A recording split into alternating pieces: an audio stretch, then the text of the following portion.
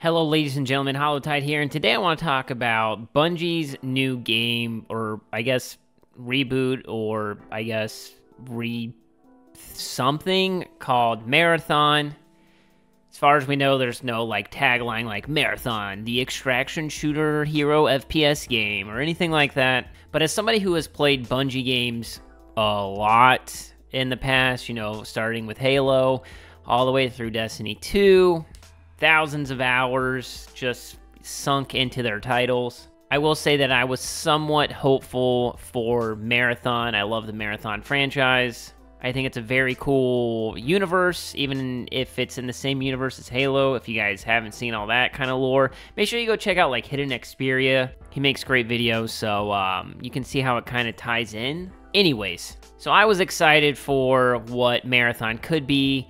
I learned as with everybody else, that it was going to be an extraction shooter, and I'm personally not huge into those games. You know, Tarkov never really sunk its claws into me, but I was like, you know what, I would still give it a chance because I feel like it's not just going to be an extraction shooter with how Bungie works. I had higher hopes, and then they talked about how it was like PvP focused, and you know, it's going to be good. It's everything that Destiny 2's PvP Crucible stuff is not and Christopher Barrett was the one that was in charge of it. And I do appreciate all the work that he's done in the past. Uh, pretty much my favorite expansions in Destiny have been done by him in some lead role or another. And since that announcement, there has been a lot of news surrounding Marathon and Bungie. As y'all know, Bungie was bought by Sony. There's been questions about how will Bungie sustained both Destiny 2 and Marathon at the same time, even though it looks like Destiny 2 is going to be wrapping up by the time Marathon releases. There was a delay to Marathon, it's supposed to come out in 2025 now. But there's been rumors circulating recently that Destiny 3 is now going to be a thing, and personally, I never thought that Bungie was going to be done with Destiny and, you know, any stretch of the imagination just because I feel like they make so much money off of that. They have a foundation with fans that will always want to play Destiny. So I can't imagine that they would just throw away all of that just to put all their eggs in one basket with Marathon. I know there's other games that they're currently trying to make, do, whatever. But the thing is, is I can't imagine Sony was like, yeah, you guys are just not gonna make Destiny stuff anymore. We're just gonna get rid of that that check in the mail. I will say it does feel like the Destiny universe does have to kind of downsize with Marathon coming out, but I guess we'll see. I mean, Marathon could come out and be awful, and they completely pivot back to doing Destiny.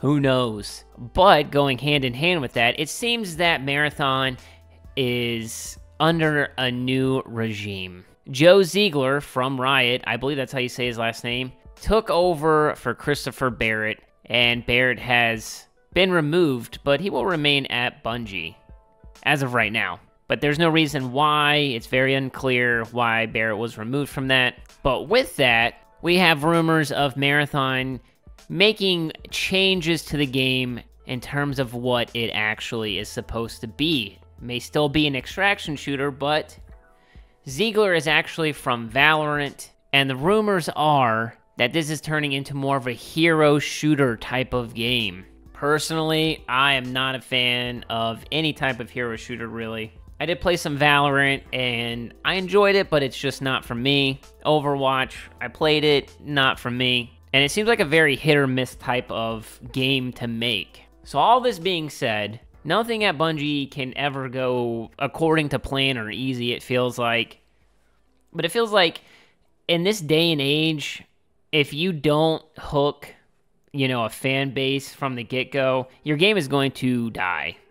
It's not like in the old days like Destiny 1 and Destiny 2 where they had time to, you know, fix the game and people would come back and they had an audience and a fan base. Now it's not like that. Even with established IPs, I mean, we see what happened to Halo Infinite. Now, all that being said, am I still looking forward to Marathon? I am.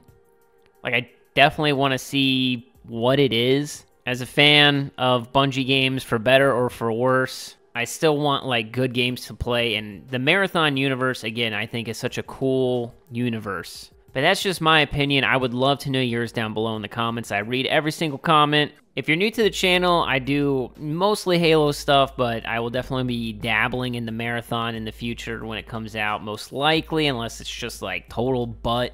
But if you want to stay up to date with anything like that, or Xbox news, just anything, make sure you sub to the channel.